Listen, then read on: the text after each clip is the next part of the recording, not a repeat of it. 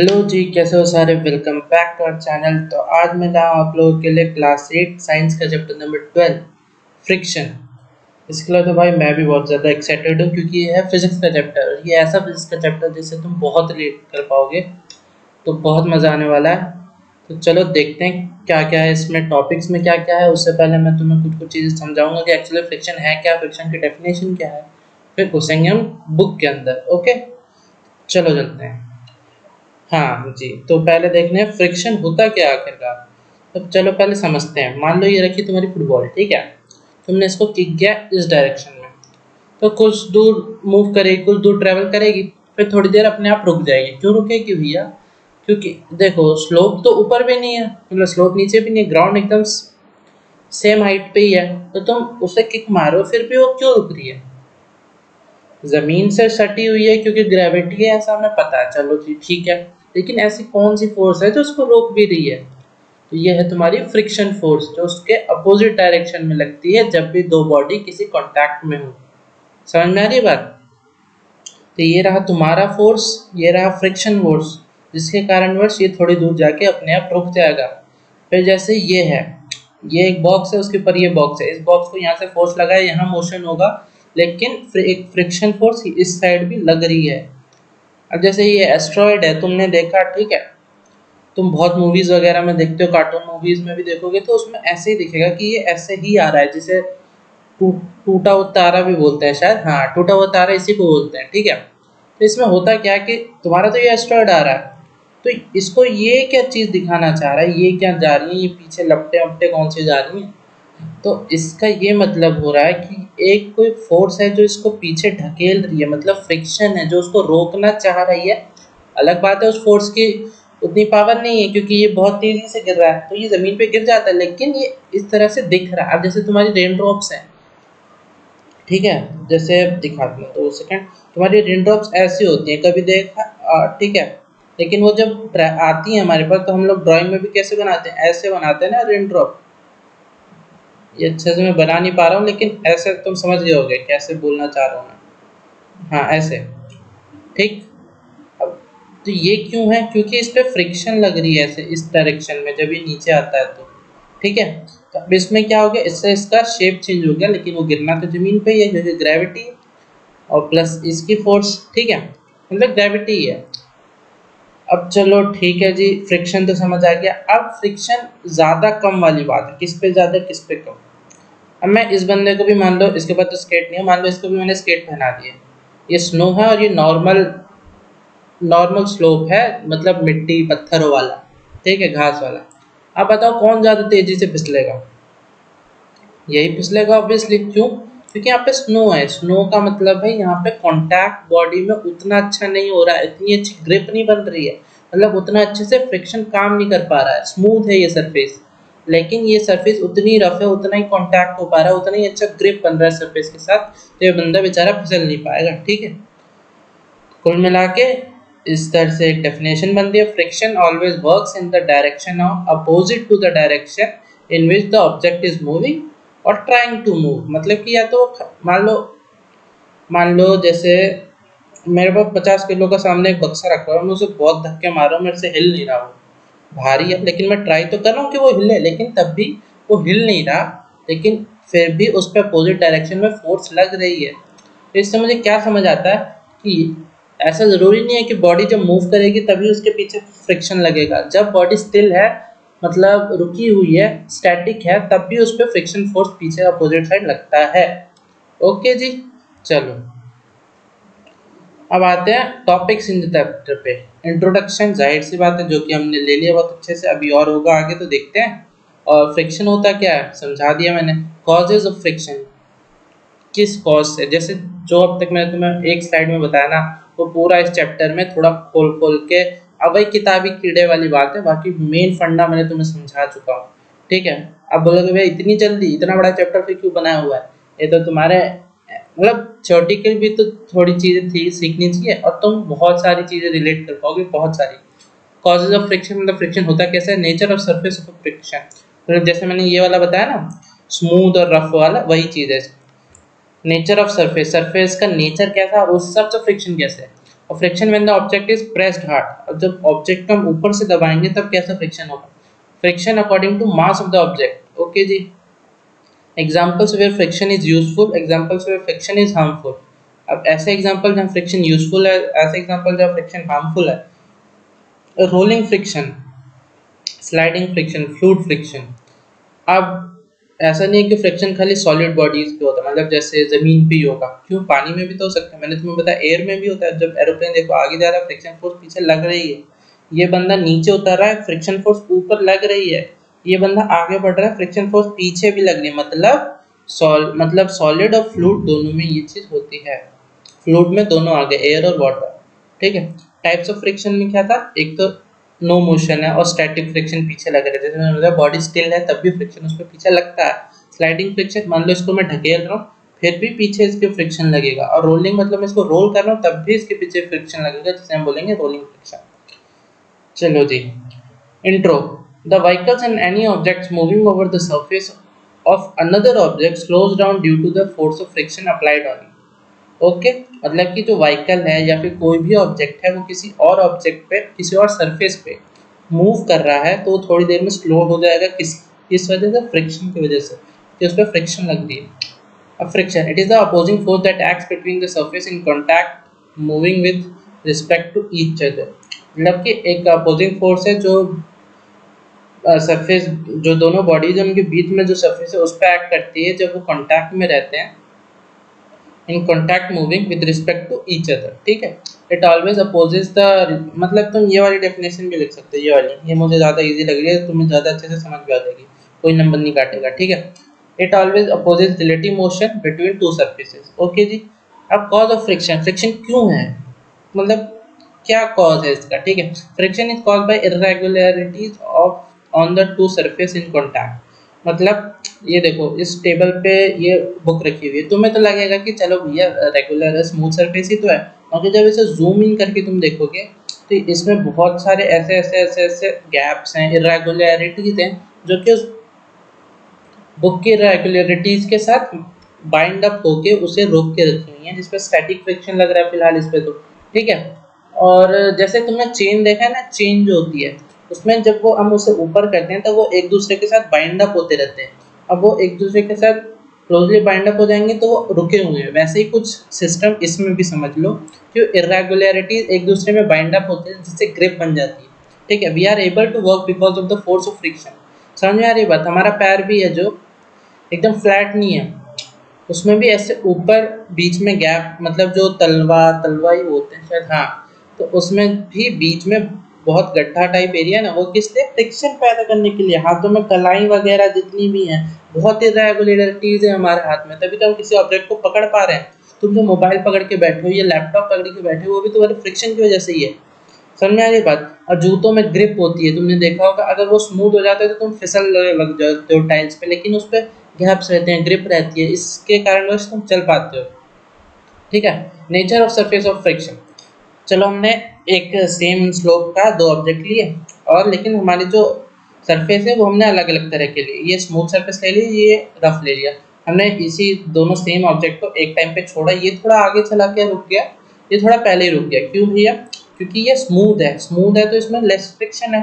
थोड़ा दूर जा लेस है, एकदम ही खत्म नहीं है। लेस है, इसलिए थोड़ा दूर जाके रुका, लेकिन मतलब इसमें फ्रिक्शनल फोर्स बहुत कमज़ोर है, जो कि इसके मोशन को उतना जल्दी रोक नहीं पाई। लेकिन ये रफ है, इसमें रेगुलरिटीज ज़्यादा है तो इसने जल्दी से रोक लिया उसको उसके मोशन को, ठीक है? बहुत सही से एग्जांपल्स तुम बहुत अच्छे से रिलेट कर पा रहे होगे। और नोट्स वगैरह की चिंता मत करो, जैसे तुम्हें पता है वो डिस्क्रिप्शन बॉक्स में ज़रूर से मिल जाएगा। पीडीएफ होगी लिंक खोलना डाउनलोड करना प्रिंट करना, नहीं तो अभी मेरे वीडियो के साथ बनाते चलो यार, क्या दिक्कत वाली बात है। मैं बहुत स्लो स्लो पढ़ा रहा हूँ, ताकि तुम लिख लो फटाफट फटाफट। एक बार लिख लो फटाफट फटाफट, फिर वीडियो देख, या पहले पूरी वीडियो देख लो, फिर फटाफट फटाफट लिखते रहना पॉज कर ठीक है? When to uh, friction when object is press hard देखो अब उसी ऑब्जेक्ट को मैं अगर हार्ड प्रेस करता हूँ तब उस पर फ्रिक्शन क्या ज़्यादा लगेगा कम लगेगा उसकी बात होगी when two surfaces are rubbed harder then irregularities get more time to increase their contact which it turn lead to increase the friction greatest pressing force means greatest greater friction मतलब कि मान लो मैं कोई ऑब्जेक्ट है एक second हाँ। ये है तुम्हारा सरफेस ठीक है? इसमें थोड़ी बहुत रेगुलरिटीज़ हैं और ये रहा तुम्हारा ऑब्जेक्ट अब मैंने इस पर ऊपर से फोर्स लगाया और मैं इधर से भी फोर्स ठीक है? अब मैं इस पर मान, नहीं, मान लो इस पर एक बच्चा बैठ गया, ठीक है? इस पर एक बच्चा बैठ गया मतलब ऊपर से नीचे इस पर फोर्स लगेगा। अब मैं इसको धक्का मार रहा हूँ। तो थोड़ा टाइम लगेगा ना इसको जाने में, इस तरफ़। अब इस बच्चे को मैंने उड़ा के उड़ा दिया इसको मतलब उड़ाने का मतलब हटा दिया। तो अब ये थोड़ा इजीली चला जाएगा इस तरफ़। इसका मतलब जब हम इसको हार्डर प्रेस करते हैं तो इस पर फ्रिक्शन बढ़ जाता है। क्यों? क्योंकि ये इरेगुलरिटीज़ के साथ और मैच अप हो जाता है, और बाइंड अप हो जाता है। तो इससे एक और चीज़ समझ आ रही है कि जितना ज़्यादा मास मान लो ये दो ऑब्जेक्ट है ठीक है? एक ऑब्जेक्ट ये रहा जिसका वेट है फाइव के जी वन के जी मान लो, चलो वन के जी टू के जी और इसका वेट है फाइव के जी मैं बोलता हूँ, इसको धक्का मारो, कौन सा जल्दी से धक्के से चला जाएगा? अब बोले, क्या बोल, बात कर रहे भैया? तो सिंपल सी बात है, ये वन टू वाला चला जाएगा और फाइव वाला थोड़े आराम से जाएगा। हाँ तो इसका मतलब ये भी हुआ कि जिसका वेट ज़्यादा है, उस वो उसमें फ्रिक्शन भी ज़्यादा लगेगा। जैसे ग्रेविटी ज़्यादा लगती है, वैसे ही उसमें फ्रिक्शन भी ज़्यादा लगेगा। और जिसका वेट कम है, उसका फ्रिक्शन भी कम लगेगा। ठीक है? तो इससे हमने दो चीज़ सीखी। उसको जब हार्डर प्रेस करो तो हम उसका क्या करें? वेट ही तो बढ़ा रहे हैं। तो ज़्यादा फ्रिक्शन और उसका अगर मास ज़्यादा है तो ज़्यादा फ्रिक्शन कम है वेट तो कम फ्रिक्शन ठीक है? नेक्स्ट पॉइंट देखना वही होगा। Friction according to mass of the object greater mass greater friction ठीक है? अब एक होता है रोलिंग फ्रिक्शन स्लाइडिंग फ्रिक्शन और स्टैटिक फ्रिक्शन ठीक है? ये मैंने तुम्हें बताया रोलिंग फ्रिक्शन क्या? सिंपली जैसे व्हील्स रोल करती हैं या फिर कोई भी रोल गोल मटोल सिलेंड्रिकल चीज़ है वो रोल कर रही है। तो उस पर जो फ्रिक्शन लगता है वो कम होता है स्लाइडिंग फ्रिक्शन जो स्लाइड कर रहा हो। और, और वो उससे कम होता है स्टैटिक फ्रिक्शन से। स्टैटिक फ्रिक्शन मतलब कि सबसे ज़्यादा होता है। मतलब अगर कोई बॉडी खड़ी है उसमें सबसे ज़्यादा फ्रिक्शन लग रहा होगा कंपेरेबल टू स्लाइडिंग से और रोलिंग से। अब देखो, ये ऑब्जेक्ट है तुम्हारा, ये टेबल पे रखा हुआ। अब इस पर मैं बोलूँगा, अगर तुम इसको थोड़ा सा फोर्स लगा रहे हो तो इस पर बहुत फ्रिक्शन लग रही है अपोजिट साइड में, इसलिए वो धीरे धीरे मूव कर रहा है। अब ये स्लाइडिंग फ्रिक्शन है, तुम इसको थोड़ा सा धक्का मारोगे, बहुत जल्दी आ जाएगा नीचे, लेकिन इस पर फ्रिक्शन तो फिर भी लग रहा है। तो तुम प्रैक्टिकली सोचो कि ये ज़ाहिर सी बात है, भैया स्टैटिक फ्रिक्शन ज़्यादा है इसके फ्रिक्शन से। अब रोलिंग अब इसको मैं उंगली से टच भी कर दूँगा, नहीं, बहुत आगे जाके गिर जाएगा इस टेबल पे से। तो हमें कुल मिला के बात समझ आ गई कि जो तुम्हारा स्टैटिक फ्रिक्शन है, वो ग्रेटर देन स्लाइडिंग है, और स्लाइडिंग फ्रिक्शन है, वो ग्रेटर देन रोलिंग है। ठीक है? इस बात को बहुत अच्छे से याद कर लो। याद करने वाली चीज़ नहीं, समझ लो तुम। एग्ज़ाम में याद नहीं आएगा ना, ये एग्ज़ाम्पल ध्यान में रखना। तुम्हें बहुत अच्छे से याद आ जाएँगी चीज़ें। और फिर examples way friction is useful कौन सा एग्ज़ाम्पल है, जिसकी वजह से फ्रिक्शन हमारे लिए यूजफुल है? मतलब अगर फ्रिक्शन नहीं होता तो हम वॉक नहीं कर पाते, किसी ऑब्जेक्ट को पकड़ नहीं पाते, या फिर रोलिंग मोशन ऑफ़ बॉल और व्हील मतलब ये जो व्हील्स है, इनमें भी ये बने होते हैं। ये भी रोल नहीं कर पाते अगर फ्रिक्शन ना होता तो। Examples way friction is harmful यहाँ energy dissipation of engine due to friction between surfaces in motion मतलब जैसे तुम कभी रफ एरिया में गाड़ी चलाना है साइकिल चलाना और किसी स्मूथ एरिया में चलाना तो स्मूथ में तुम जल्दी चला पाओगे। मतलब तुम्हें उतनी एनर्जी नहीं लगानी पड़ेगी। ऐसे अगर तुम गाड़ी लगाओ तुम्हारी गाड़ी को इंजन में इंजन को उतनी एनर्जी नहीं लगानी पड़ेगी उस सरफेस पे गाड़ी चलाने के लिए। लेकिन रफ सरफेस पे तुम्हें ज़्यादा एनर्जी लगानी पड़ेगी। तो इसका मतलब क्या है? फ्रिक्शन के कारण हमारे इंजन को बहुत ज़्यादा बहुत नहीं मतलब एनर्जी लगानी पड़ रही है। एनर्जी डिसिपेशन मतलब एनर्जी का यूज़ करना पड़ रहा है उस सरफेस पे चलने के लिए या मोशन के लिए। More energy is lost in pulling और pushing an object in rough surface ठीक है? जितना रफ सरफेस होगा, उतनी ही एनर्जी लगेगी किसी ऑब्जेक्ट को पुल या पुश करने के लिए। Wear and tear of shoe soles are and tyres मतलब जैसे शू सोल्स शू सोल्स हाँ। शू सोल्स जो होते हैं, वो तुमने देखा होगा, ऐसे उबड़ खाबड़ से होते हैं। या टायर जो है देखो ट्रक ट्रैक्टर का टायर ये भी कितना उबड़ खाबड़, या नॉर्मल मोटरसाइकिल का टायर देख लो, वो भी उसमें गैप्स वगैरह रहते हैं। Lubrication powder on carrom board oil in machine मतलब जैसे हम्म, कैसे होता हूँ? हाँ जैसे रोड है रोड पे तुम साइकिल चला रहे हो बहुत अच्छे से साइकिल चल रही है। अब एक जगह बहुत बालू बालू है बालू में सैंड सैंड जो है वो फैला हुआ है। तुम उस पर कभी साइकिल चलाना तुम्हारी साइकिल स्किट करेगी। अब वो क्यों स्किट करेगी? क्योंकि वो तुम्हारे सरफेस के ऊपर है कैसे काम कर रहा है उसने फ्रिक्शन कम कर दिया। वो एज अ लुब्रिकेशन काम कर रहा है तो उसने फ्रिक्शन कम कर दिया तो तुम्हारी साइकिल स्किट करेगी जैसे टाइल्स कभी गीली रहती है तो उसमें तुम पैर मान लो कभी कभार फिसल जाते हो। क्यों? क्योंकि वो जो, वो है मतलब वो जो पानी है, यहाँ पे उसने लुब्रिकेशन का काम किया उसने फ्रिक्शन कम कर दिया।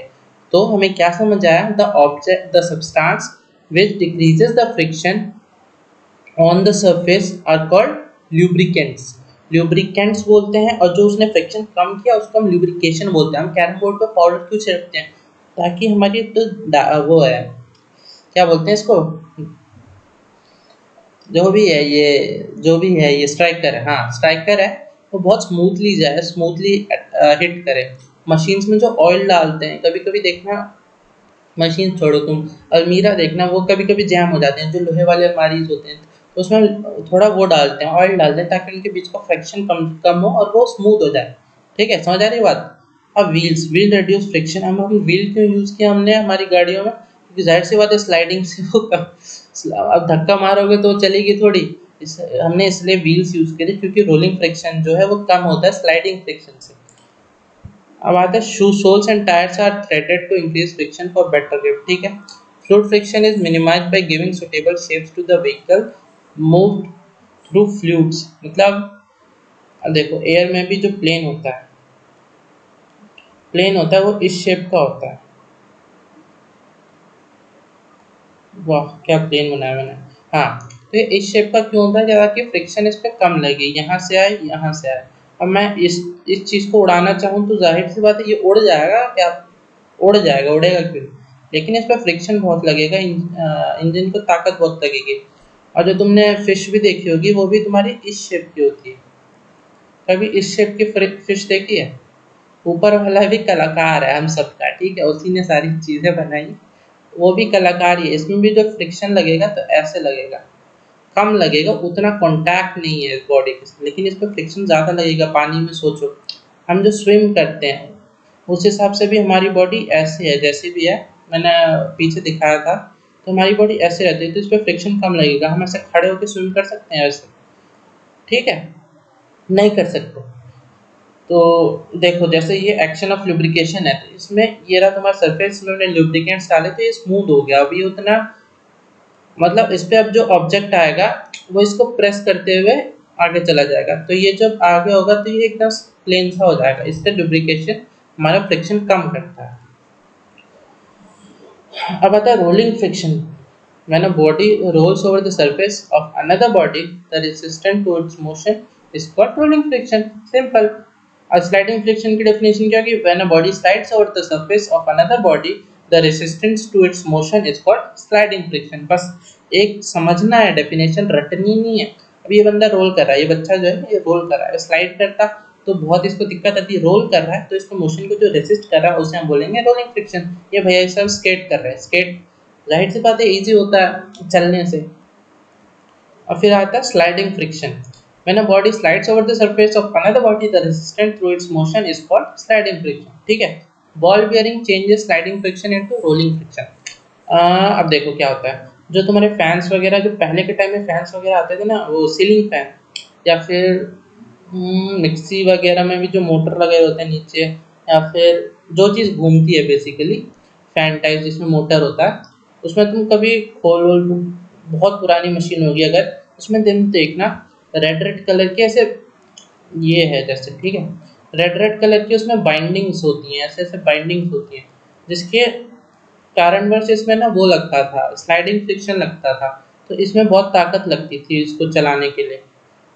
तो, उसके रिप्लेसमेंट में हम ये ले आए जैसे हम बोलते हैं बॉल बियरिंग इसमें क्या है ये सब गोल गोल है। अब ये ना उतना फ्रिक्शन नहीं लगता ये घूम जाते हैं अंदर अंदर। जैसे तुम्हारा वो होता था ना क्या? अरे वो उंगलियों पे घुमाते थे क्या फिडजिट स्पिनर जो आते थे तुम्हारे उसमें भी देखना तुम यहाँ पे ऐसा रहेगा और चारों तरफ़ पे गोल गोल गोल गोल वो जानबूझ के बना रहता है ताकि वो एयर के फ्रिक्शन को कम कर सके। ठीक है? अब देखो ये बच्चा स्लाइड कर रहा है। ज़ाहिर सी बात है तो स्लाइडिंग फ्रिक्शन का एग्ज़ाम्पल है और कुछ नहीं। अब बताओ, इनमें से और इनमें से कौन जल्दी नीचे आएगा? जल्दी से वीडियो पॉज करो और कमेंट करो। ठीक है? अब ये जल्दी आएगा। क्यों? क्योंकि इस पर पानी है, ये फिसलेगा। इस पर ल्यूब्रिकेंट है, ये जल्दी फिसलेगा, इसने फ्रिक्शन कम कर दिया और। ठीक है? लेकिन इस पर कुछ भी नहीं चलो जी, अब आता है fluid friction fluid friction is minimised by giving suitable shapes to the vehicles moving through fluids ठीक है? फ्लूड फ्रिक्शन को कम कर, कैसे कर सकते हैं? उसको पर्टिकुलर शेप्स सुटेबल शेप्स देके जो मूव कर रहे हैं। अब fluid friction is also called drag ये राइट से याद कर लेना थोड़ा फ्लूड फ्रिक्शन को हम ड्रैग भी बोलते हैं। अब फ्लूड फ्रिक्शन का एग्जांपल क्या a body moves in a fluid and the resistant to its motion is called fluid friction बस ठीक है? Friction force depends upon the speed of the object with respect to the fluid अब जितना भी speed होगी, उसी हिसाब से फ्रिक्शन पीछे लगने वाला है। ठीक है? Friction force depends upon the shape and nature of the fluid अब नेचर क्या? मतलब तुम ही सोचो एयर पे ज़्यादा फ्लूड लगे एयर पे ज़्यादा फ्रिक्शन लगेगा कि पानी पे ज़्यादा फ्रिक्शन लगेगा? पानी पे ज़्यादा फ्रिक्शन लगेगा क्योंकि उसके मॉलिक्यूल्स जो हैं, पानी के वो क्लोजली बाउंडेड है, वो तुम पे ज़्यादा फोर्स लगा पाएँगे एयर के मुताबिक। एयर में उतने मॉलिक्यूल्स फैले हुए उतने क्लोजली बाउंडेड नहीं है। ठीक है? तो बस, इतना सही था तुम्हारा चैप्टर हाँ इतना सही था। देखो uncle ji best of luck भी बोलने आ गए। तो बहुत अच्छे से मेरे को लगता है तुम लोग को समझ आ गया होगा। तुम टीचर को भी समझा सकते हो, इतने अच्छे से तुम्हें समझ आ गया होगा। ठीक है? बहुत हलवा चैप्टर है, बहुत इजी चैप्टर है। बस इसको गरम गरम खा जाओ। ठीक है? तो अगर पसंद आया तो लाइक करो शेयर करो सब्सक्राइब कर दो। प्लीज़ यार, थोड़ा सा सपोर्ट दिखा दो। अब तो उतने नालायक नहीं हैं रेगुलरली वीडियोस आ जा रही हैं वैसे, ठीक है? और अभी तो एक और भैया जुड़ गए तुम्हारे साथ। तो चलो फिर मिलते हैं नेक्स्ट वीडियो में। तब तक के लिए best of luck goodbye be safe